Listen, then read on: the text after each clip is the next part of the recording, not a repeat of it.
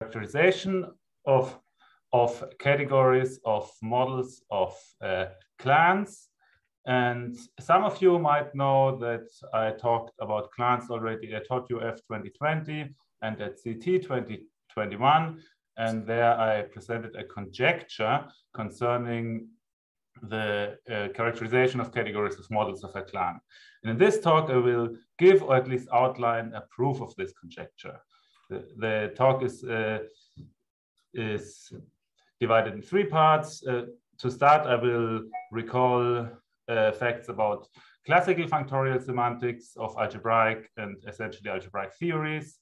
Then in the main talk, I will introduce clans and uh, prove the theorem. And then if there's time, I will give some more examples and talk about models in higher homotopy types. So let's get started with algebraic theories. A single sorted algebraic theory, that's the most well-known kind, is just a pair of a signature in the set of equations where the signature is a family of sets of n-ary operations for each natural number n, and then the equations are pairs of open terms over the signature. And given such a single-sorted algebraic theory, we can construct a syntactic category where the objects are natural numbers and the morphisms from n to m are um, m tuples in n m tuples of terms in n variables um, modulo the provable equality, provable from the axioms in the set of equations E. The uh, identities in this syntactic category are lists of variables and composition is given by substitution. I should say the syntactic category that it's of course uh, known as Lawvere theory of the um, algebraic theory. So um, the interesting thing is um, given a single sorted algebraic theory, the syntactic category has finite products given by sum of natural numbers and moreover, the category of set models is equivalent to the functor category of finite product preserving functor from the syntactic category to set. Um, so this suggests a, a, kind of abstraction where we just say a finite product theory is a small finite product category C. Sorry. So essentially we forget about the single sortedness here. And then we say a model of C is just a finite product preserving functor to set. Um, and we denote the category of models by mod C um, and view it as a full subcategory or define it to be the full subcategory of the set valued functor category. And in particular, for every object of the theory, the co-representable functor is a model because Hom functors preserve arbitrary limits in the second argument. And therefore, the dual Yoneda embedding um, that goes from C op to functors from C to Z co-restricts or factors through this inclusion of the category of models. And it's contravariant because the uh, gamma gets mapped to C gamma dash and it's contravariant in the first argument. Um, so we get a full embedding here of the opposite of the theory into the category of models. And I call this Z because it's dual to Yoneda and Yoneda is Y. So throughout the talk, I will use using the letter Z for this kind of embedding.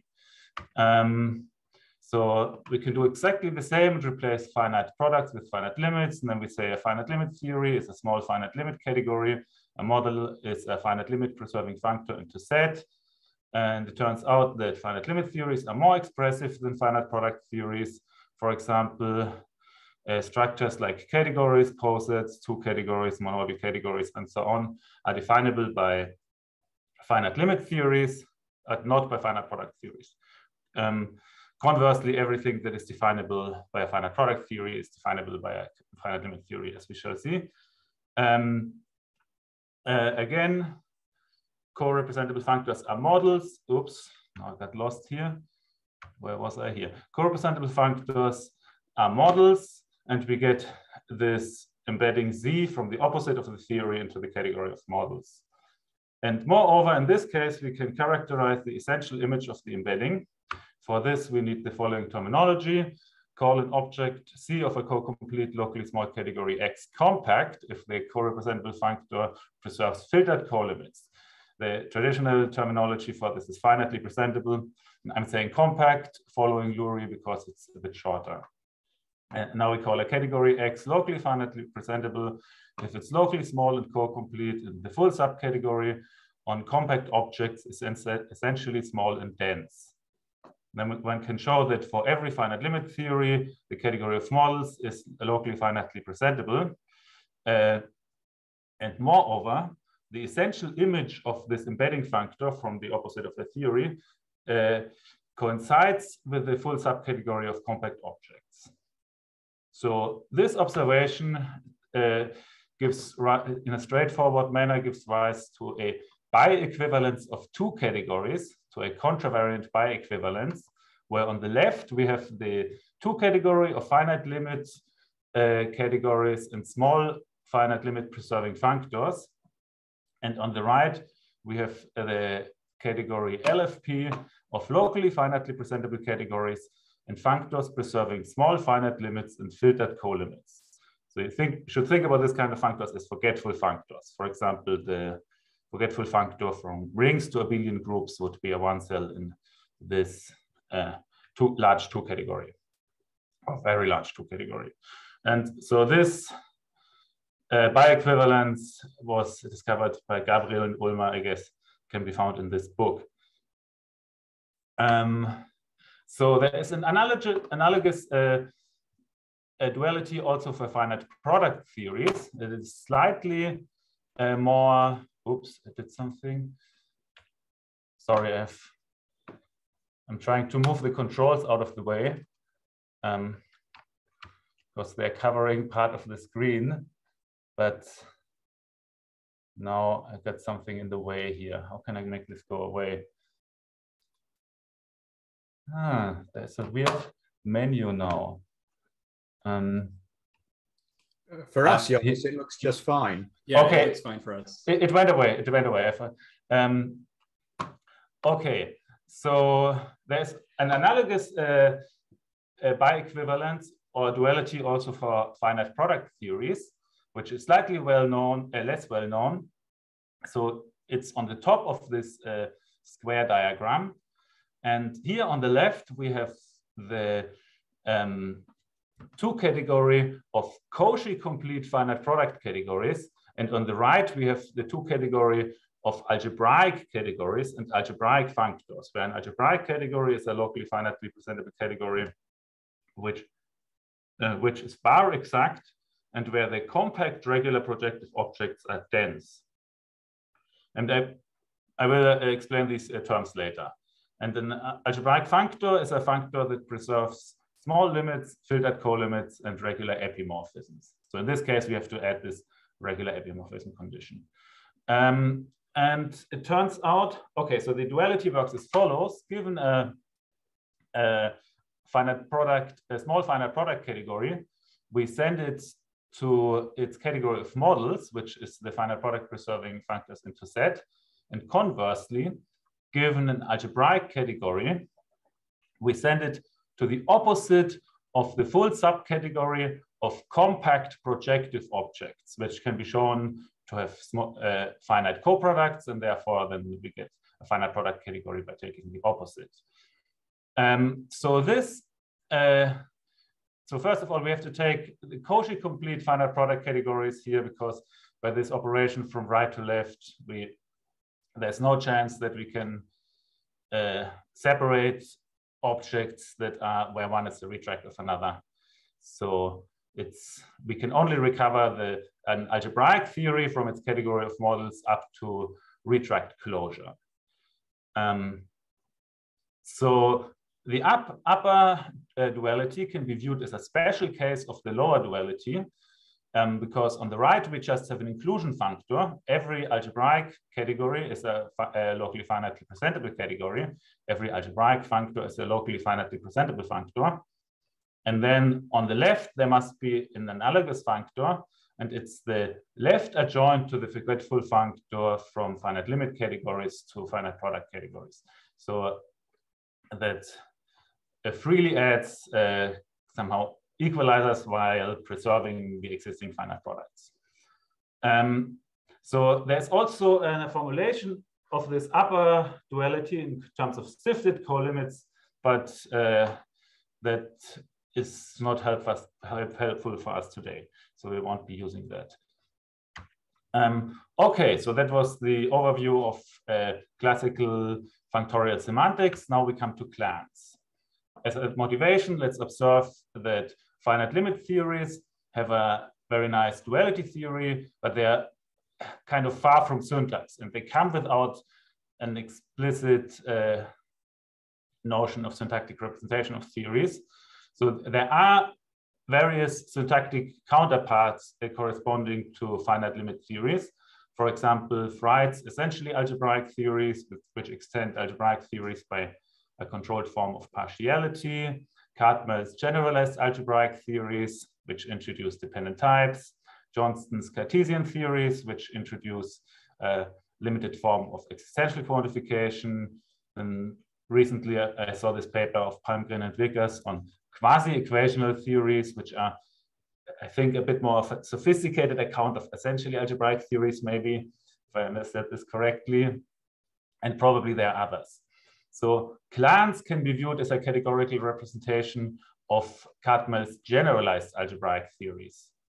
And like all of the notions of theories in this list, they are as expressive as finite limit theories, but somehow they give a finer analysis and closer to syntax. So let's uh, start with the definition. A clan is a small category T with a terminal object, which is furthermore equipped with a class of so-called display maps, denoted T dagger, and written with an arrow with a triangle head, such that pullbacks of display maps along arbitrary maps exist and are display maps. Display maps are closed under composition and isomorphisms and terminal projections are display maps. Um, so the definition of this can be, first reference I found is in the thesis of Taylor. And the name is due to Joyal, who motivated as it is saying that uh, a clan is a collection of families. But clan, uh, but Joyal called the display map fibrations. So the term display map is also used by Taylor.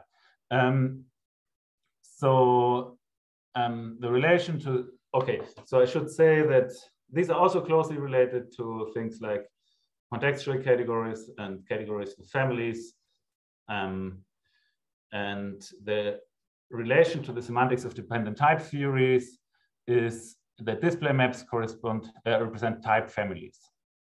Um, we, we also observe that clans have finite products as pullbacks over one because terminal projections are display maps.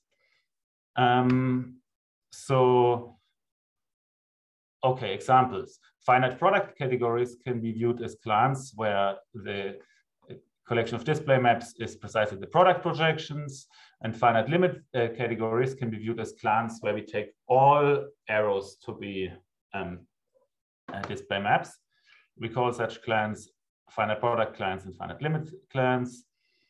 And moreover, the syntactic category of any uh, Cartmell style generalized algebraic theory is a clan. So this uh, the syntax of Cartmell style generalized algebraic theories is um, rather complicated. So I won't give a general um, construction account here, but um, I'll give like the nicest canonical example, which is the clan for categories.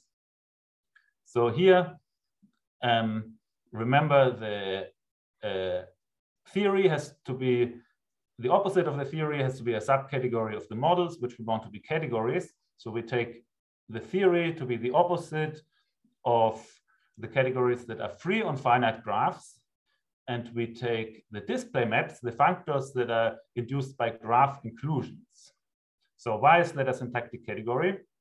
Well, think about the theory of categories as having one sort of objects and a dependent sort of morphisms depending on two objects. Um, so then if we write a context over the signature, I'm not even mentioning the operations. Um, the only context that, we can write um, uh, declare first a list of objects and then a list of um, a, a list of morphisms where each morphism depends on two objects. And that is precisely the data of a finite graph. Uh, so, um, and also display maps have to be kind of projections from longer contexts to shorter contexts, and these are dual to graph inclusions. So this is why this definition makes sense. Um, and okay, models. A model of a clan is a functor to set which preserves uh, the terminal object and pullbacks of display maps. Category of models is denoted by mod t, is again locally finitely presentable because it is given by a finite limit sketch. So a graph can be viewed as a finite limit sketch.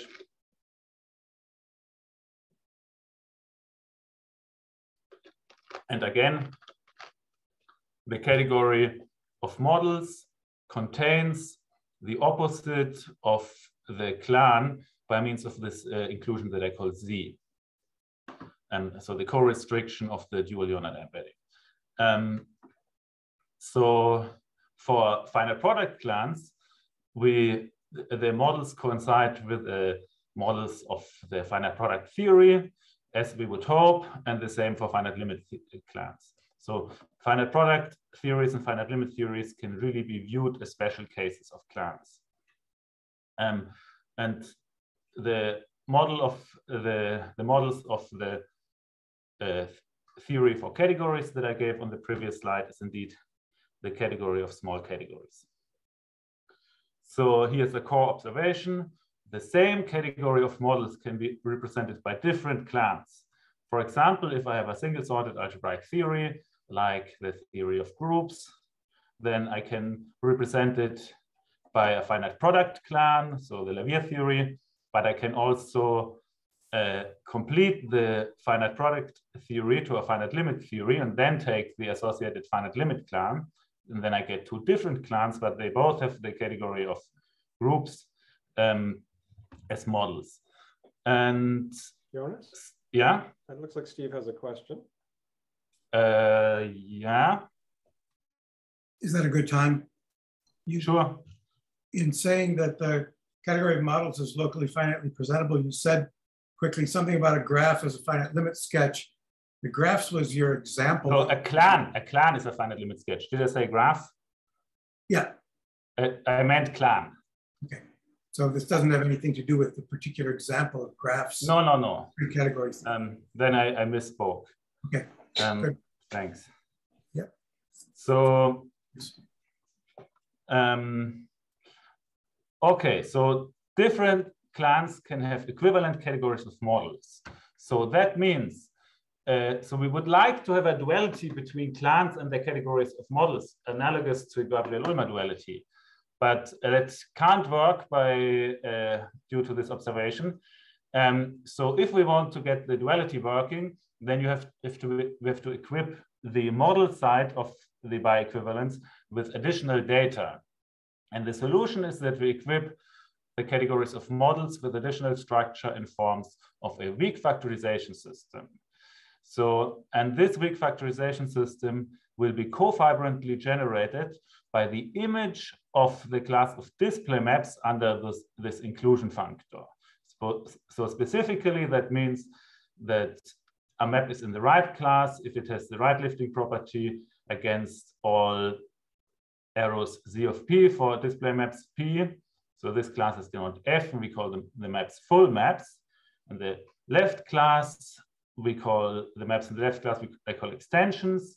And they can either be def defined as by the left lifting property with respect to the right class, or by taking the closure of the generators under push out and retracts and transfinite composition.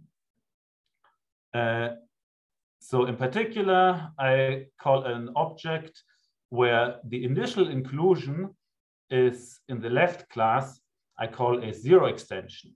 So that's like a cofibrant object. But I don't want to use the terminology cofibrant and trivially fibrant because that trivially fibrant suggests some kind of homotopy equivalence, which is which we don't have in the, for this refactorization system. So in general, there's we shouldn't view any either of these classes as a kind of equivalence. And that's why I use these terms full maps for the left for the right class and extensions for the left class. So co-representable objects are always zero extensions because uh, terminal projections are display maps. Um, and yeah, and I should say the same weak factorization system was also introduced by Simon Henry in a hottest uh, talk almost exactly two years ago. So that was in January 2020, the language of a model category. Uh, I should say I started working on this on, I think in December 2019, and then January um, 2020, Simon gave this talk. So that was quite a coincidence. Um, but then Simon also sent me a reprint from 2016 where he already did something similar. So I should have included this reference, I guess. Um, so, um, okay, full maps. Uh, let's talk uh, in more detail about full maps. So a map is full if it has the right lifting property with respect to uh, these images of display maps. So what does it mean? If you look at a lifting square where on the left we have a co-representable of a display map and the right we have an arbitrary morphism of uh, uh, models, then the arrow here is an element of A over gamma. The element here, uh, the arrow here is an element of B over delta. And the commutation says that they both should give rise to an element of B over gamma. And this is displayed here in the right diagram. So I have something A of gamma, something in A of a B of delta that maps to the same B of gamma. And then the lifting says that in this case, there should exist something here that is mapped to the pair of arrows by the um, by the corresponding uh, by the two by to the pair of elements by the two arrows. And that precisely means that this uh, naturality square is a weak pullback. And so that means full maps are maps where natural, display naturality squares are weak pullbacks. So we can look at special cases. If we look at this condition for terminal projections, and we see that square like this has to be a weak pullback, and that precisely means that the top if map is surjective. That means that full maps are in particular component-wise uh, surjective and therefore regular epimorphisms. Um, so for finite limit clans, only isomorphisms are full because all arrows are display maps, in particular diagonals are display map. That means uh, squares like this also have to be weak pullbacks. And from this, it follows that this component has to be injective. So if it's surjective by this condition, injective by this condition, it has to be bijective, all uh, components. For finite product clans, it's slightly more interesting. So here the full maps are precisely the regular epimorphisms. So it's kind of the regular, uh, the maximal class of full maps. And the extensions are coproduct inclusions with a, a projective summand. In particular, uh, zero extensions are precisely projective objects because they have to have this um, lifting condition against regular epimorphisms, and that's precisely the definition of projectivity. Or uh, more precisely, I should call this regular projectivity.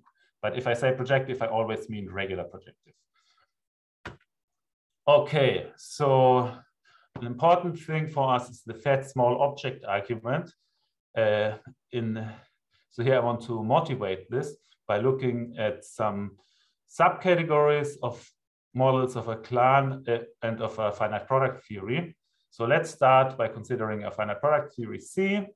Then we have category of models and the opposite of the theory embeds, and there are certain other full subcategories of the models. Namely, there are compact objects, and the models are the filtered co-limit completion of that. And here, the upper arrow then is a reflexive co-equalizer completion. And then there are projective objects that we already mentioned.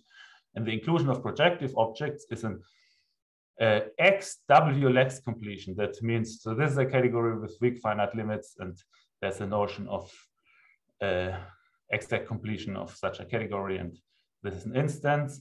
And then there's the uh, subcategory of flat objects. So the flat models of an algebraic theory are by definition precisely the filtered co-limits of, um, of uh, co-representables. And it is important to observe that these filtered co-limits are always computed freely in the functor category. and that's freely because the uh, this category of models is closed under filtered limit under filtered co-limits in the presheaf categories, in the presheaf category. And what is also important is that the projective models are included in the flat models. And this is because projective objects can always be represented as uh, retracts of free objects. And free objects are filtered co-limits of finitely generated free objects. And then uh, retracts are also a filtered co-limit. And so neither of these constructions lead out of this class. Okay, so in the case of clans, we have an analogous diagram with models, uh, compact, flat, and here instead of projective, we have the zero extensions. And uh, so, and here it turns out that the zero extensions are also contained in the flat objects. So they are also uh, filtered co-limits of co-representables in a free way. And this is shown using the fat small object argument. And so this is uh, described in this paper that I cited below by Makkai, Rosický, and Vokřínek. I don't know how to pronounce that. And um, so what they do is that they give a kind of analysis, so they give a decomposition or alternative presentation of these co-limits that appear in the small object argument that instead of doing these transfinite compositions, you attach all cells like at a minimal level um, and therefore get a, get a wider diagram that turns out to be filtered if you do it the right way. So, okay, so the important le lesson here is that all zero extensions are uh, filtered co-limits of representables, of co-representables. Um, okay, with this we can reconstruct the clan from the category of models as we would like. So and uh, in analogy to the finite product uh, case, where we reconstruct the clan, uh, uh the, the theory from the models as pro compact projective objects, in this case, we take the compact zero extensions. And so we say C, given a clan T, we take C to be the full subcategory of the models on compact zero extensions. Then we have already observed, I think, that co-representable objects are always compact and zero extensions. Therefore, this uh, contravariant inclusion factors, factors through this subcategory, I call this uh, again co-restricted inclusion E. And moreover, the subcategory C is closed under, it contains the initial object and is closed under appropriate pushouts. And And that means it is a co-clan, meaning the dual is a clan, and now the where we take extensions as co-display maps. Um, okay, so uh, now we can state a theorem, and the theorem is that this full inclusion of the co-clan into the uh, of the dual opposite of the clan into the compact zero extensions is is a Cauchy completion. And by that means that every object in the codomain has to be a retract of an object in the domain. In other words, we want to show that every compact zero extension is a retract of a co-representable object. So to prove this, uh, let's see be a compact zero extensions. Since zero extensions are flat, in a, uh, the category of elements is filtered, so here it is important that these are filtered co-limits in this free way that I mentioned. Um, um, thus, uh, C itself is a filtered co-limit of co-representables. If you take the canonical co-limit, and since the object is also compact, the identity arrow into this filtered co-limit factors through uh, a co-limit inclusion, uh, co-cone inclusion. And there we uh, get a retract. So this arrow and this exhibit C is a retract of this co-representable. So this gives us um, already half of a duality. And in fact, we can already state a duality as follows. So we call a category clan algebraic um, if it is the category of models of a clan um, equipped with, this, with a weak factorization system. So a clan algebraic category is a pair of a category X in the weak factorization system that arises as models of a clan. And then we get a contravariant biequivalence between the two category of Cauchy complete clans. Again, we need this Cauchy completeness condition because here uh, we only reconstruct uh, a, a, clan up to Cauchy completion. Um, and so functors in this two category have to be functors preserving uh, terminal object and display maps and pullbacks of display maps. And on the right, we have the two category of clan algebraic categories and functors preserving small limits, filtered co-limits, and uh, furthermore full maps. Okay, so now the obvious question is, this is a definition by construction. Is there a more abstract definition of clan algebraic categories? Well, let's try to come up with a, a, with a list of conditions that characterize clan algebraic categories. So given a clan algebraic category X with weak factorization system EF, we know that the category is co-complete. It has a small dense family of compact zero extensions, and the weak factorization system is cofibrantly generated by maps between compact zero extensions. And okay, so now let's assume we have a category X with a weak factorization system satisfying these conditions. Then one can again show that the subcategory of compact zero extensions is a co-clan. And then we can take the models of this co-clan, we get this inclusion functor, and then we can do a kind of nerve realization adjunction where to any object of the of the uh, category X, we associate this restricted re representable functor, which then is a model.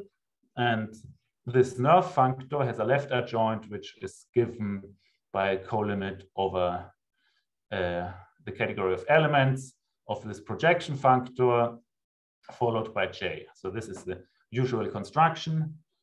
How also, this is how we would also do it if we took instead of models here, the full presheaf category and this construction uh, restricts to models.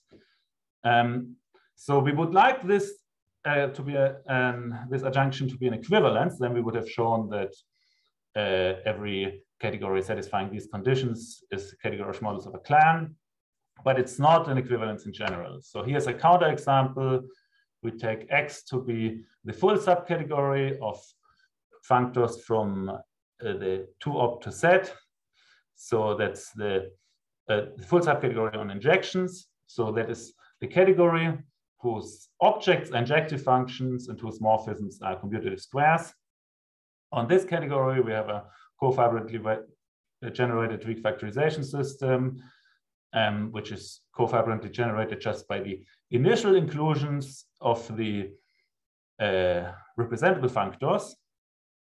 And then the compact zero extensions form a co-clan. And if I take the models, I don't get the original category back, but I get a larger category. Namely, I get the entire functor category not only the injections.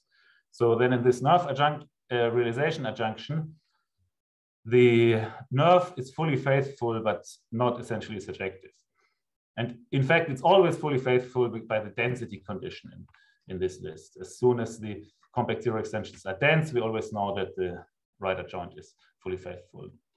So the conclusion of uh, this counterexample is that we're missing an exactness condition uh, analogous to the Barr exactness condition in the characterization of ordinary algebraic categories. So um, let's recall what Barr exactness is. So a finite limit category is Barr exact if all equivalence relations have stable effective quotients, um, where quotient is effective if its kernel pair is the original equivalence relation.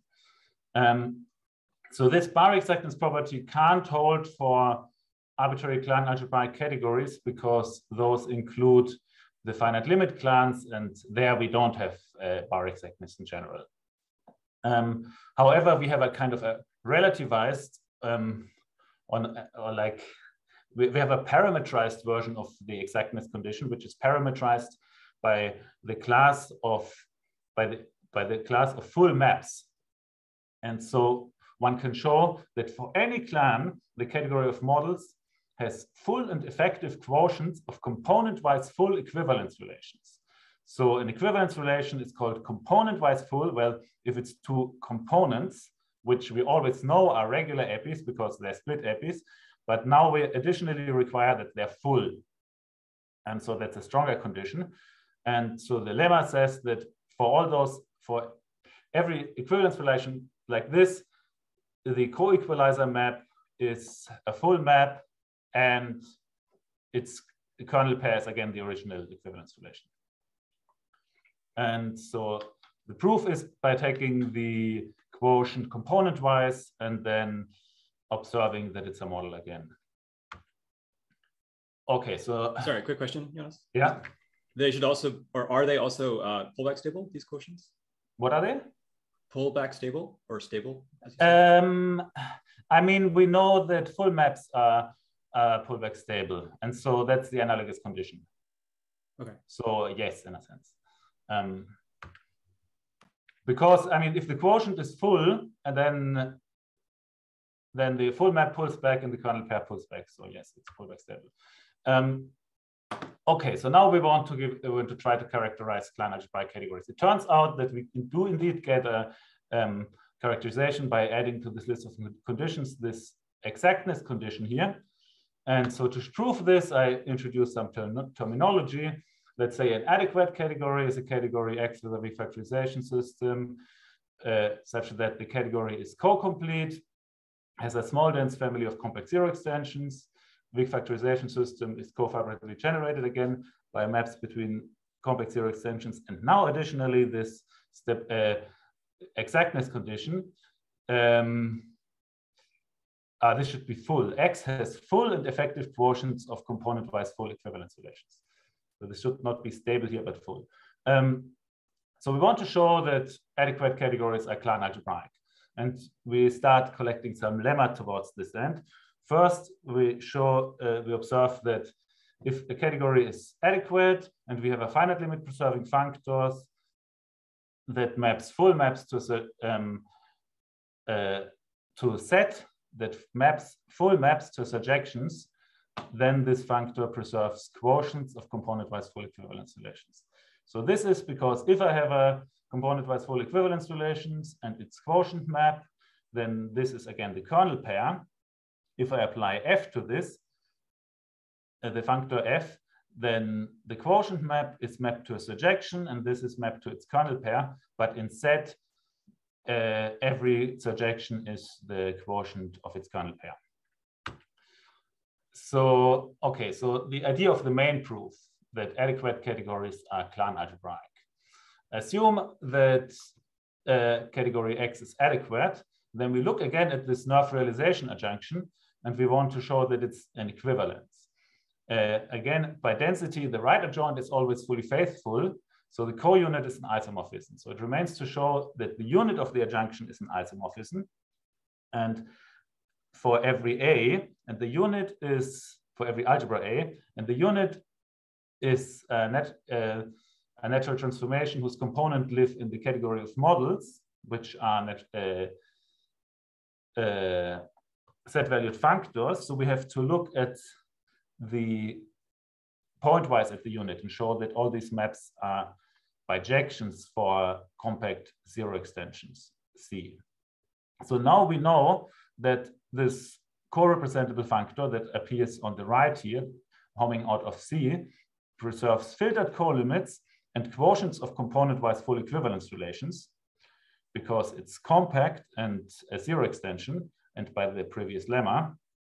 So we'd like to decompose this co-limit here in terms of these constructions, uh, filtered co-limit and quotients of component-wise for, uh, full equivalence relations. So this is essentially what we're doing, but uh, we need some more um, uh, technology for that. So the technology that we need uh, is the so-called jointly full cones.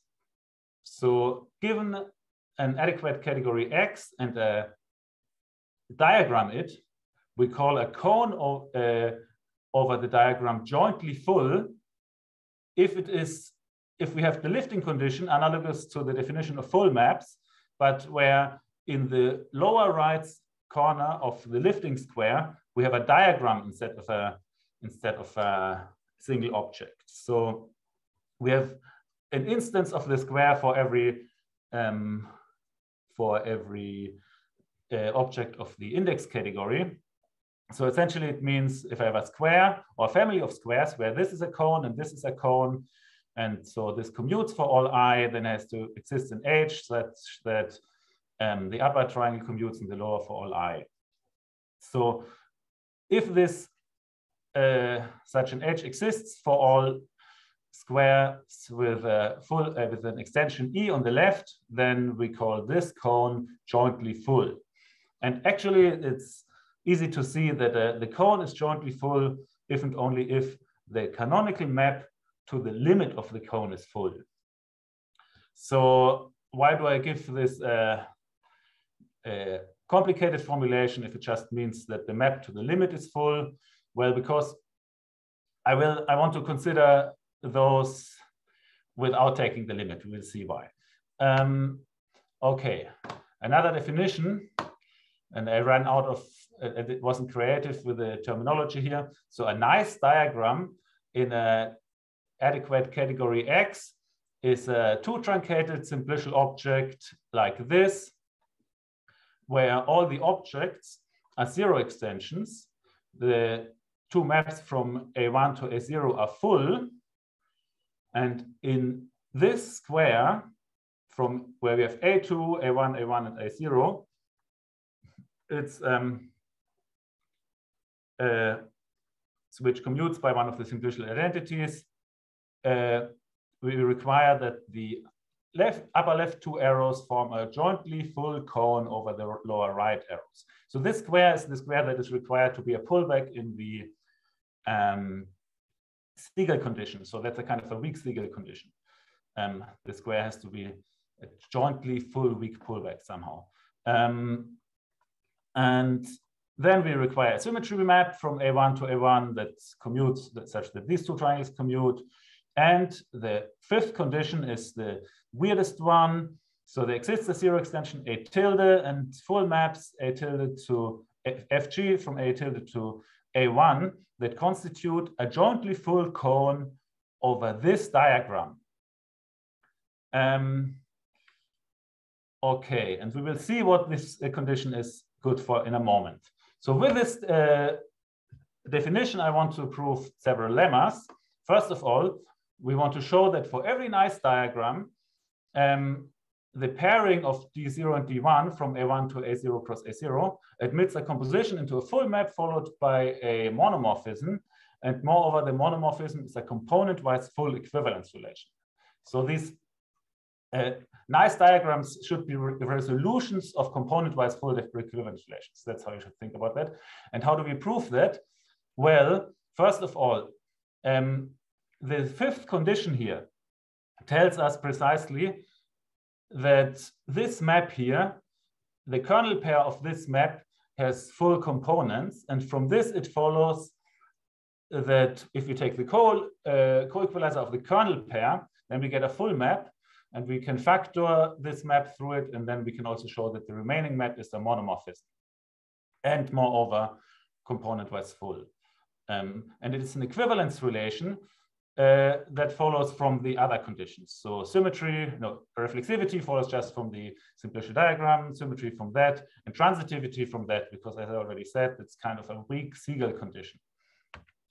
Um, next lemma that we can show is that if X is an adequate category and F from X to Z functor preserving finite limits that sends full maps to surjections, then for every nice diagram, F preserves co-equalizers of uh, these maps D0 and D1. And this is basically by the lemma before that, well, the image of the pairing of these two arrows is a component-wise full equivalence relation. And we've already seen that this kind of functors preserves quotients of those. But it's also important that in this factorization, this is full because then it's mapped to a surjection by this functor. And then on the on the set side, we can reconstruct the diagram to preserve the, co uh, the co-equalizer. Next lemma, uh, the restriction of the nerve realization functor, L, so the restriction is called L prime, to zero extensions is fully faithful and preserves full maps and nice diagrams.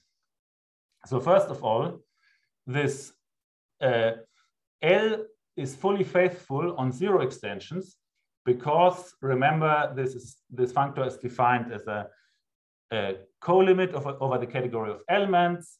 And so the relevant observation is that the category of elements again is filtered in this case, and then somehow where there are Hom functors out of compact objects involved in that commutes. So that means the compact zero extensions are fully embedded into X. And from this, we can deduce that the entire weak factorization system is um, preserved and reflected by this functor. Because on both sides, it's cofibrantly generated by a class of arrows, which is, well, we have the same copy of the generating category C on both ends. And then we generate in the full subcategory here and here, and we get the same weak factorization system. So this means in particular, L prime preserves full maps. And from this, it's also, one can see that nice diagrams are preserved. And here it's important that nice diagrams, so we have this jointly full cone conditions. And here it is uh, important that this is uh, stated without referring to the limits of the diagrams of the because forming the limits would lead out of uh, the compact zero extensions.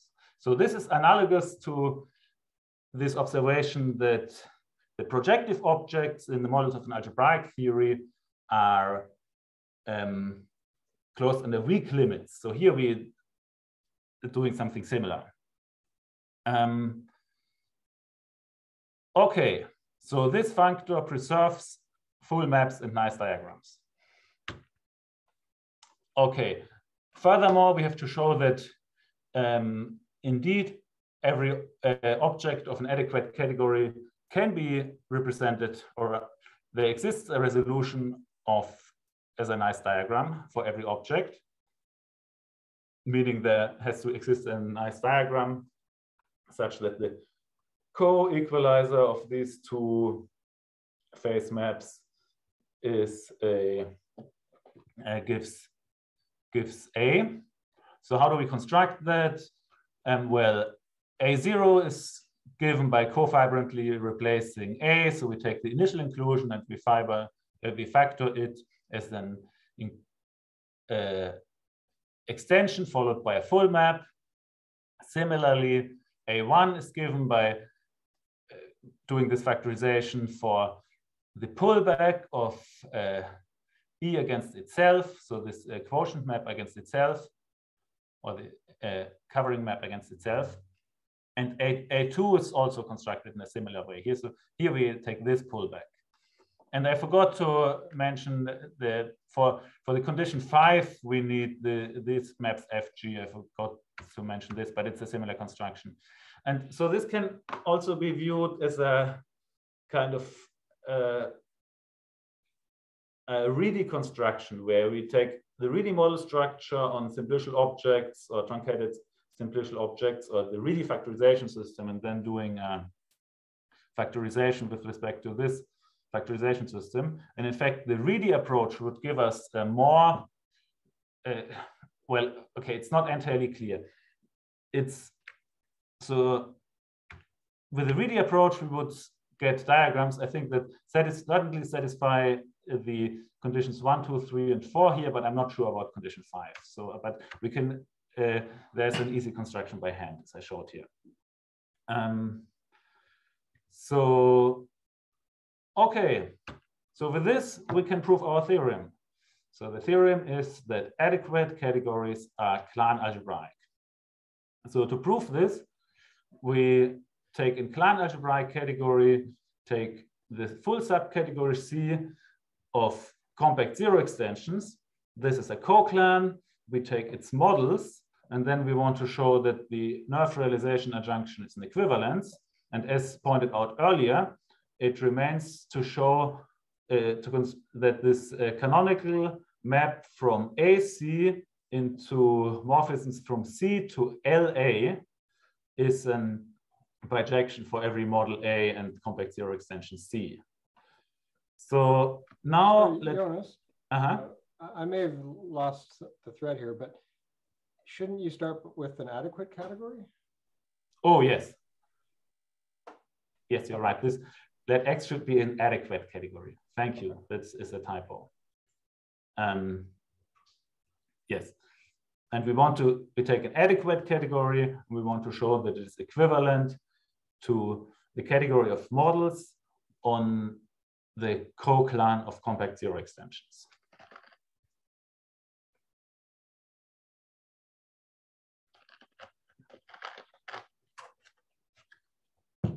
Okay, so we have to uh, prove a bijection like this essentially. So, and now we take um, a resolution of A by a nice diagram, and then we can argue as follows.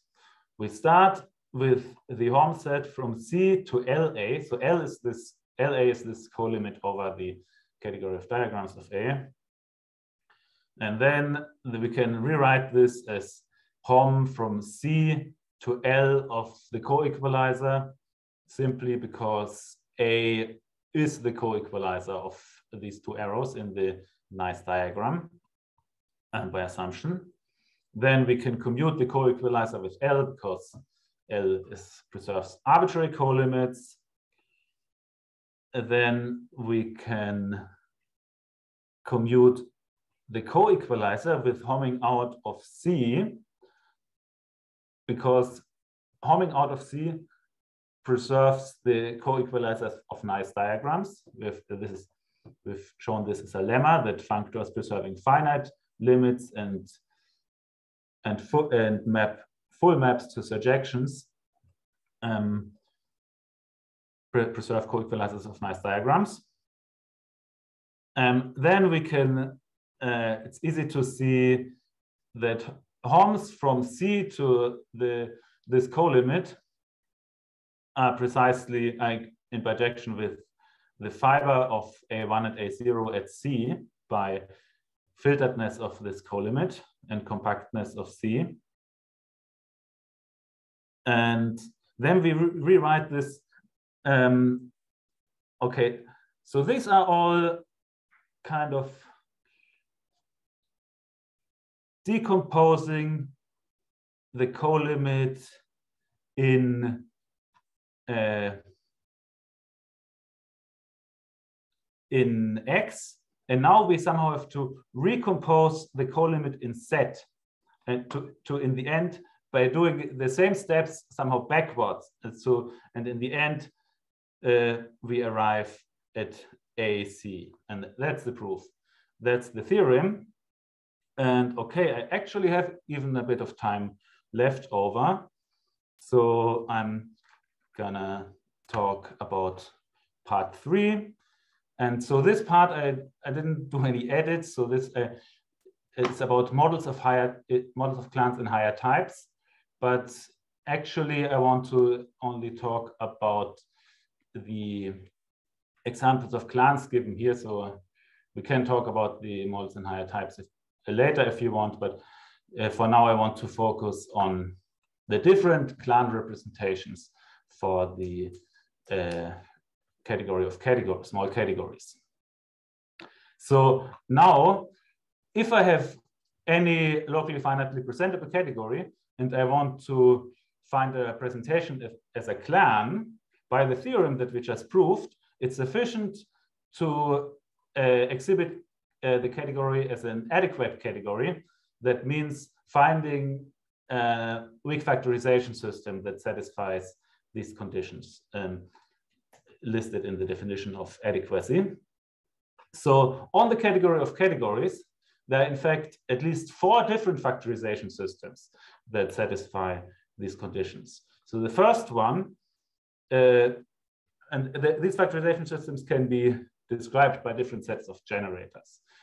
And the first one is generated by the inclusion of the empty category to the terminal category and the inclusion of the discrete ca uh, category with two elements to the interval category.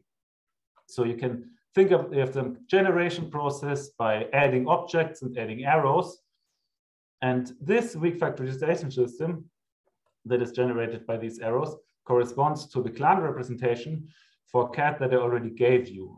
So the clan will be uh, this full subcategory of cat on uh, finite uh, categories free on finite graphs. So then we can add generators to this set of generators. For example, we can add a generator that identifies two objects. And so this doesn't somehow, we can, as a generating process, we can generate the same categories because if we add objects and then we identify them, we, I mean, that doesn't give us anything new. But it gives a different weak factorization system. Um, yeah, and so in the first case, uh, the class of full maps is the functors that are full and surjective on objects. And that's it's easy to check by hand that these are precisely the functors that lift against these two uh, generating functors. In the second case, by adding this generator, we get functors that are full and bijective on objects. So these are the trivial fibrations for the canonical model structure on on CAT. And um, so instead of adding this generator to the uh, to the weak factorization to the gen this generator to the generators, we can also add this arrow, which identifies two parallel arrows. So P is the category with two parallel arrows, and then we map it to the interval category.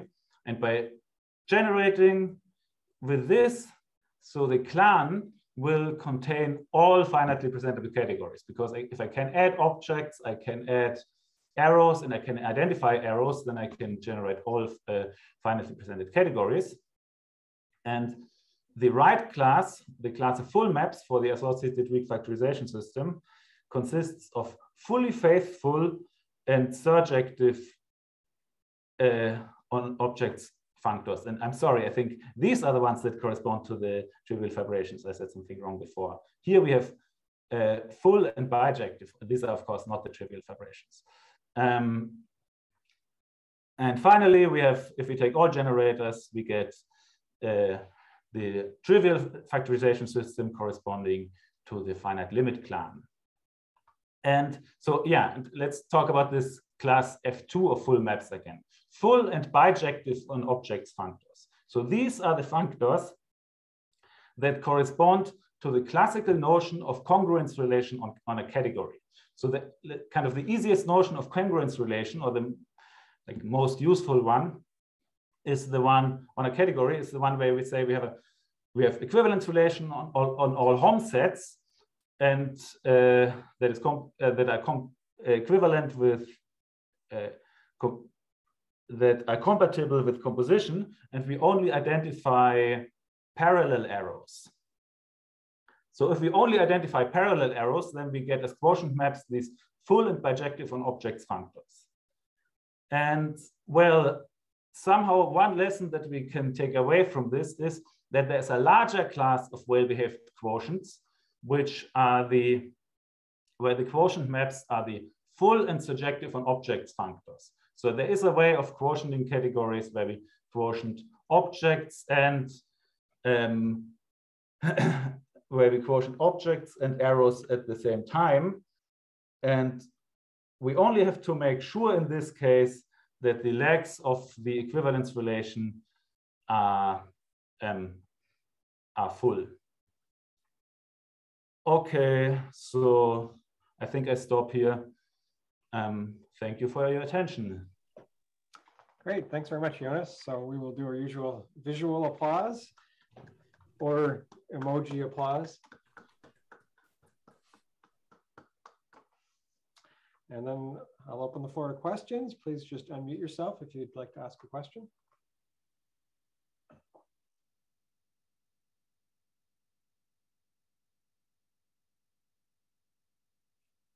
Um, Steve?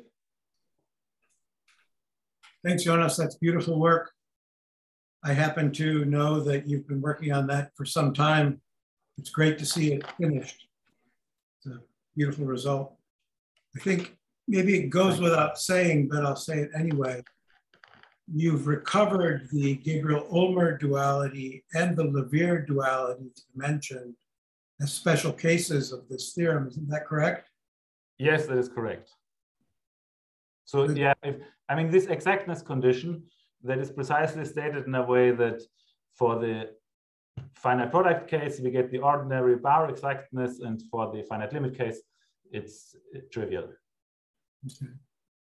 So now I do have a question. Um, if we apply this to one of those four different presentations of cat of categories, mm-hmm. clan algebraic, then in the um, in the category cat, mm-hmm. there's a universal co-category because of uh, the yeah. duality. I mean, and there are different universal co-categories. Exactly, there are four different Yeah. ones, and Mm-hmm. the um, the additional exactness condition, the clan exactness condition, which is some sort of a effective descent condition for the full maps, Mhm. right? Tells us something about a descent condition on the universal co-category. Is there some information in there that we could extract about that object?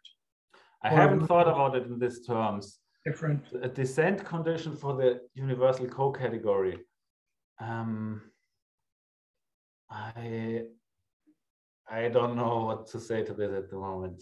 okay. I mean, it tells us that Mm. That thing has a co-equalizer, which is full, right? Yeah.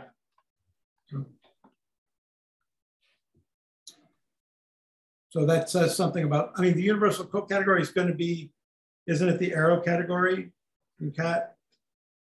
With its co-category structure, it has a co-category structure. Um, I guess that's what, what it's going to be. I, have, I, I Okay. haven't really thought about this in this Okay, good. Yeah. That's Something, something for the students to think about. I think it would be fun. There'd be something interesting there. Okay, thank you. Thanks. Yeah. Okay, I see Chaitanya has a question. Uh, Go ahead. He has the answer already. No. uh, thanks, Jonas. That was a great talk. Um, I had a question about something that you didn't really end up talking about, which was the models in higher toposes, in spaces, and in other higher toposes. Yeah. Uh, so, so, so my question is kind of general. So there's an interesting homotopy theory of uh, models, at least in spaces, of ordinary algebraic theory. So you have some interesting uh, strictification results, for instance.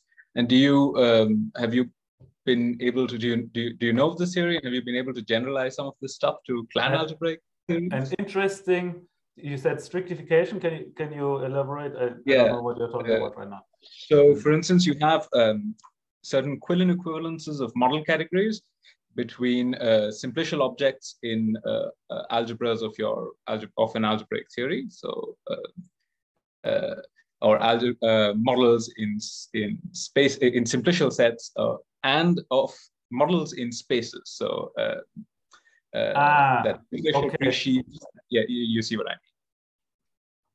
So this is some old uh, homotopy theory that that's um, work of Badzioch and Bergner, and I think Rezk as well. Okay, so the answer is no. I haven't thought about this at all. So if I, so I, I mean, okay, I- if I understand correctly what you're saying, the, I mean, a model of a clan in spaces would be well, a functor to spaces that preserves um, the required uh, terminal object and pullbacks. And then the question is, if I represent spaces by simplicial sets, for example, can I get a, a kind of an actual one functor uh, do, doing that? And I have not worked on that. No, I, I mean, that's a very interesting question, and maybe we can discuss about that at some point. I would like to learn more about that. Uh, maybe I should say that I think the answer is that it's true in general, but it can always be done. Yeah. Did, did you do something similar in your thesis? Uh, I, I kind of I conjectured something similar in my thesis, and I'm I mean Simon and I have been talking about how to how to how to prove that. So I see. Okay, yeah. So that's yeah. Let's talk about this at some point. Thanks. Thanks again for the talk. Thanks for the question. Okay, just feel free to unmute yourself and ask another question. I have a quick question. Can we see the slide on which you proved your main theorem once with that sequence of? Uh... Uh, yeah. Um, yeah. Yeah, this one. Uh, can I understand this uh, at a higher level as like there's some class of objects C for which, or sorry, yeah, the some class of objects, uh, sorry, A for which this is true, and then I want to prove that it's closed under operations like uh, the quotients of these nice diagrams. Is that a, a way you, you, could think about this? Uh, maybe that would be a, a nice, nicer way of stating it. Yeah, writing this list of bijections is not really like the most conceptual way of writing the proof, I guess. Um, like it seems maybe in the middle step you're using it for like when A is representable, and then you're the next step you're using it for when A is a filtered colimit of representable, something like this. Um, yeah, uh, that sounds uh,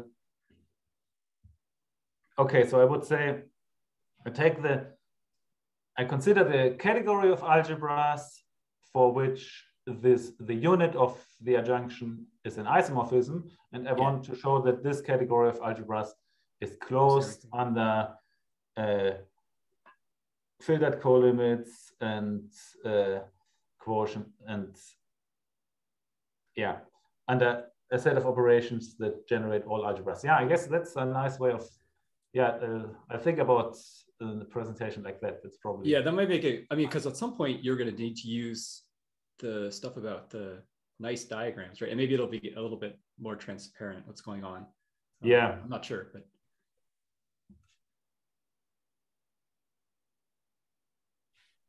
No, that sounds like, like a good way of doing it.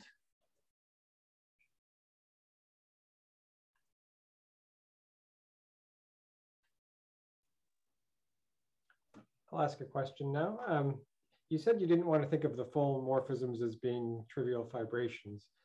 Um, but when you define the nice diagrams, it did make me think about homotopy limits um, because you sort of had a comparison map to the limit that was a full map. I just, I just wonder if there is some fruitful way to find some homotopy theory here and to, to um, conceptual idea what's going on. Yes, and so yeah, I should also credit Mathieu with uh, with who I discussed a lot of this, and so just uh, I think uh, Mathieu feel free to jump in, but so the, what seems to be happening is that on this category of um, simplicial objects or truncated simplicial objects, I always have a, a I mean,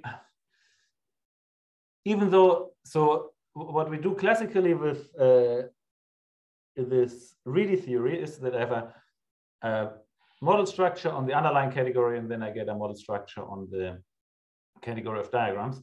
But actually, here we only have one factorization system on the underlying category, but still we get something homotopy-like on the category of diagrams. And so there's a Kan condition that we get for free somehow, um, or a trivial a Kan condition, I guess. Um, because the Reedy, I mean, the Reedy structure is defined in terms of boundary inclusions. Um, which correspond to trivial fibrations. Mathieu, uh, do you want to say something? Um, maybe, yeah, in my mind, the this weak factorization that Jonas is uh, consider is is not related to homotopy theory. It's on top of the two factorization system of cofibrations and trivial fibrations and trivial cofibrations and fibrations. So we could do exactly a model structure kind of analog of the clan theory, where the, the, the um, factorization EF considered by Jonas would be a third factorization system compatible with the two factorization systems of homotopy theory. Uh, but it's not on itself homotopy theory. It, it's meant to be a weak factorization system on the infinity category associated to a model structure. But it's a non-trivial weak factorization system on an infinity category. Okay, thank you.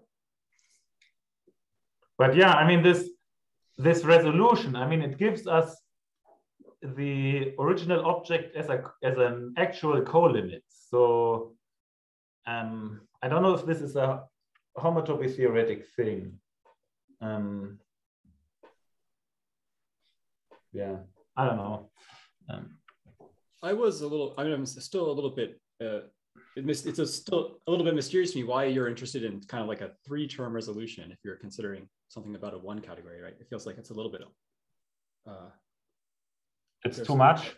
A mismatch that, or something you wouldn't expect. But what Dan's question made me think about the following fact. If you want to make a model category that, like, so simplicial, the category simplicial set, we know has a model structure that models spaces. But if you're only interested in modeling like n types of spaces, you can also do it by truncating your simplicial sets, but you have to go a little bit farther than you think you should. So for example, if you want a model category that models sets, and you want the cofibrations to be monomorphisms, you can't take the category of sets because then the cofibrations will be wrong, but you could take the category of simplicial sets up to degree one, and you're really considering graphs, and then the homotopy type of a graph is just its pi zero. And maybe that is somehow accounting for this kind of off by one um, feature. I don't know. It, I mean, you want to you want to regard your object as a presented as a quotient, but then you have kind of like one more level of something. I don't know if there's something. Yeah. So, I mean, the analogy is really pseudo equivalence relations. So we want, I mean, pseudo equivalence relations are kind of graph objects or reflexive graph objects, but the problem is that in the definition of a pseudo equivalence relation, we have to talk about pullbacks because, uh, I mean, to express the transitivity in a pseudo equivalence relation. But we want to do this within the category of zero extensions where we don't have pullbacks. And then we, I mean, this pullback is later is like naturally the third level of the simplicial diagram. So, I mean, in a sense, if you have a two truncated simplicial diagram, you can, uh, if you have level zero and one, then you can naturally add level two just by taking a pullback in a sense. Um, and then we just cover this pullback by a, um, by, an, by a zero extension. So I, yeah, so, the, but I mean, the, the in the end, what we the co-limit is computed on. It's only the co-limit of these two maps. The only the other maps only give us properties. So the homotopy, yeah. So this doesn't com, uh, contribute to the computation. Maybe that's also a point. It makes no difference whether you include it or not, right? yeah, but I have to state it as a, I mean, as as conditions or as structure. Yeah. I mean, maybe it's better to I could only take the D0 and D1 as structure and state everything else as conditions also. Maybe that would be less confusing.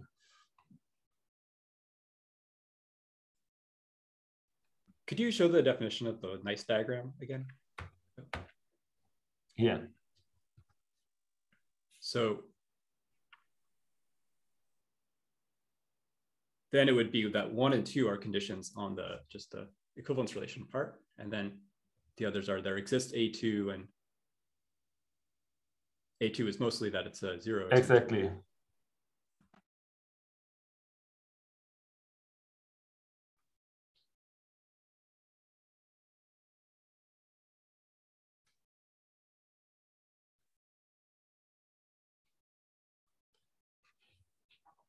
Yeah, I want to, I mean, in the end, I want to have a diagram that only lives in zero extensions, and I want to make sure that it's uh, truncation is a component-wise full equivalence relation. Um, and uh, yeah.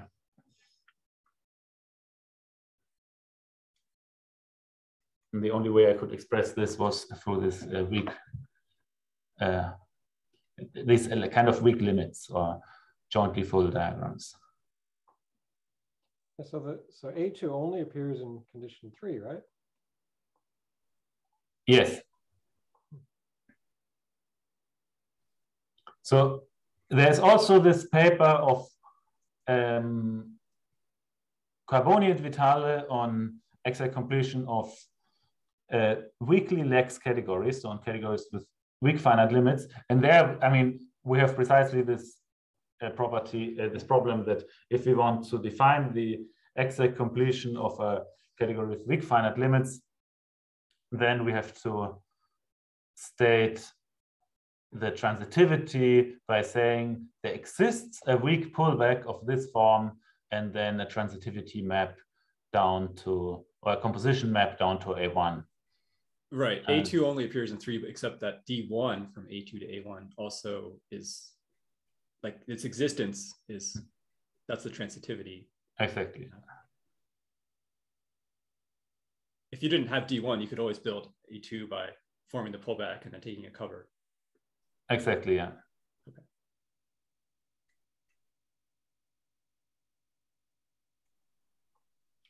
Okay, any more questions?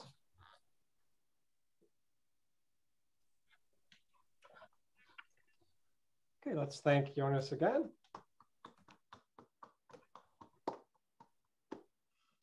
And our next speaker is Marcelo Fiore in two weeks, February 17th. I hope to see you there.